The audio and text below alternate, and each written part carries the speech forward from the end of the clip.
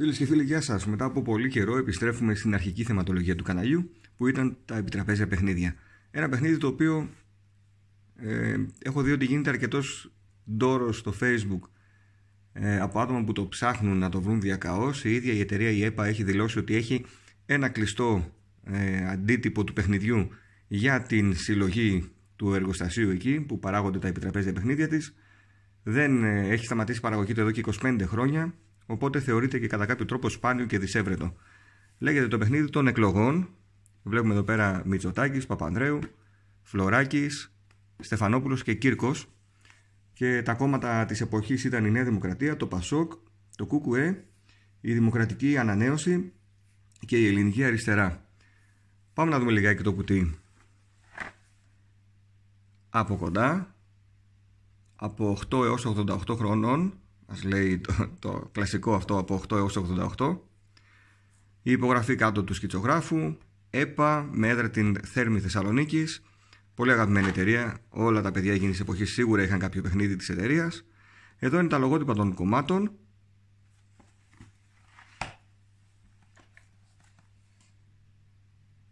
Θα δούμε όλες τις πλευρές. Και από εδώ και πάμε και στην πίσω πλευρά.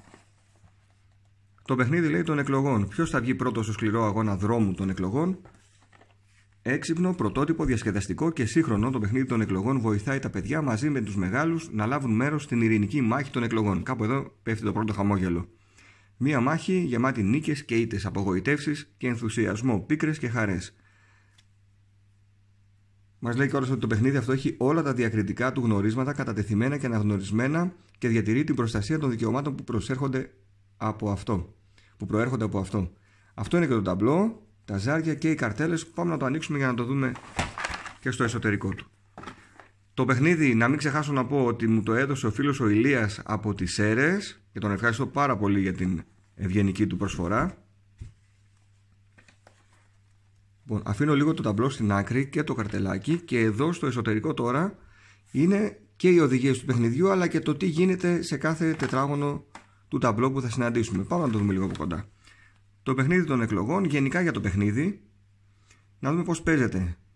Παίζεται με 2 έως 5 παίχτες, όλοι οι παίχτες τοποθετούν το πιόνι τους με τον αρχηγό που διάλεξαν στην έδρα του κόμματος, δηλαδή στο σχετικό εξάγωνο που θα δούμε στο ταμπλό.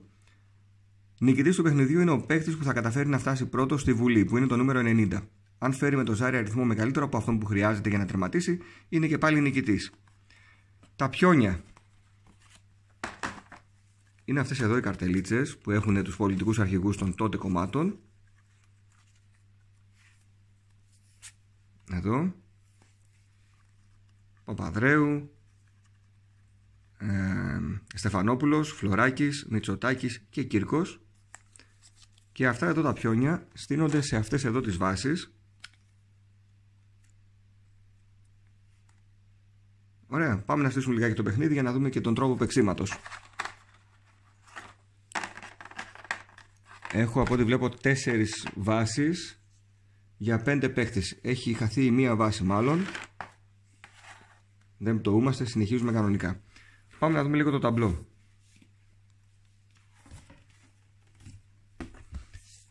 Η πίσω πλευρά με το λογότυπο του ΣΕΠΑ παντού και αυτή εδώ είναι η κανονική του πλευρά. Από εδώ ξεκινάμε όπου θα πάρουμε τώρα στην τύχη παίρνω έναν πολιτικό αρχηγό. Θα πάρω βάλω εδώ πέρα να πάρω δύο μάλλον. Θα πάρω τα δύο μεγάλα κόμματα της εποχής τον ε, Παπανδρέου για το Πασόκ και τον Μητσοτάκη για την Νέα Δημοκρατία ή άντε να τους στήσω. Όχι, αυτούς τους δύο νομίζω είναι αρκετά για να μην χάσουμε μετά και το ταμπλό. Λοιπόν, ε, παίζει ο πρώτος παίχτης, έστω ότι φέρνει 5 και ξεκινάει. Έρχεται ο Μητσοτάκης στη θέση νούμερο 5. Τι γίνεται τώρα, παίρνουμε εδώ πέρα το κουτί και βλέπουμε στη θέση νούμερο 5 δεν συμβαίνει τίποτα. Έχουμε συγκεκριμένους αριθμούς 4, 7, 10 κτλ. Είναι οι αριθμοί που έχουν αυτά εδώ τα εικονίδια τα γαλανόλευκα σαν στόχους. Αν για παράδειγμα τώρα ερχόταν στο 4 θα παίρναμε το κουτί και θα μας έλεγε η πρώτη σου προεκλογική συγκέντρωση μάζεψε πάρα πολύ κόσμο αλλά και ο λόγος σου ήταν πράγματι καταπληκτικός. Προχώρησε τέσσερις κύκλους. Και θα ερχόμασταν στο επόμενο. Ένα, δύο, τρία, τέσσερα. Θα παίξει ο επόμενος παίχτης, έστω ότι προχωράμε, προχωράμε, προχωράμε και φτάνουμε στο 66. Στο 66, εδώ είμαστε, η υπόσχεση για φθηνότερα ΙΧ. Η υπόσχεσή σου για φθηνότερα αυτοκίνητα μπορεί να ενθουσίασε όλους τους Έλληνες, όμως πρόσεχε. Αν δεν την πραγματοποιήσει όταν γίνεις πρωθυπουργός, αλλή μονός σου. Προχώρησε τέσσερις κύκλους.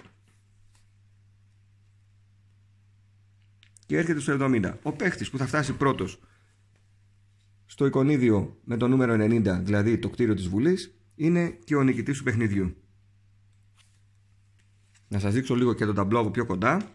Το παιχνίδι είναι πάρα μα πάρα πολύ απλό. Πιο απλό δεν γίνεται. Δεν είναι καν σαν το φιδάκι που μπορεί να επιστρέψεις και πίσω από κάποιες σκάλες ή από κάποια φίδια και να ανέβεις από τις σκάλες. Είναι ακόμα πιο απλό. Να και το εικονίδιο της Βουλής. Δεν ξέρω πόσοι το είχατε το παιχνίδι. Εγώ όταν ήμουν μικρός δεν το είχα το συγκεκριμένο. Το γνώρισα και εγώ πριν από λίγα χρόνια. Ελπίζω να σας άρεσε, να το θυμηθήκατε όσοι το είχατε. Πλέον δεν κυκλοφορούν και τέτοια παιχνίδια με πολιτικούς αρχηγούς και κόμματα. Και να μην ξεχάσω ότι μέσα υπάρχει και αυτό εδώ το κλασικό καρτελάκι στα παιχνίδια της ΕΠΑ. Όπου μας έλεγε ότι παρά τη μεγάλη φροντίδα κατά την παραγωγή του, μπορεί το παιχνίδι να είναι ελαττωματικό ή ελλειπές. Δεν έχετε παρά να ταχυδρομήσετε αυτό το απόκομμα. Στα παιχνίδια ΕΠΑ Θέρμη Θεσσαλονίκη, γράφαμε το όνομα του παιχνιδιού, συγκεκριμένο ελάττωμα, τα στοιχεία μας και η εγγύησής μας περιορίζεται στην αντικατάσταση των εξαρτημάτων που λείπουν ή είναι ελαττωματικά. Στέλναμε το συγκεκριμένο καρτελάκι και μας έστελνε η εταιρεία το κομμάτι του παιχνιδιού που ενδεχομένως ήταν ελαττωματικό ή έλειπε εντελώς από μέσα. Συμβαίνουν και αυτά. Η εταιρεία ΕΠΑ ακόμη ε, κυκλοφορεί επιτραπέζια παιχνίδια. Όπου τα βρίσκετε και αν σας αρέσουν, στηρίξτε την εταιρεία για να συνεχίσει να υπάρχει. Και μέχρι το επόμενο βίντεο να είστε καλά.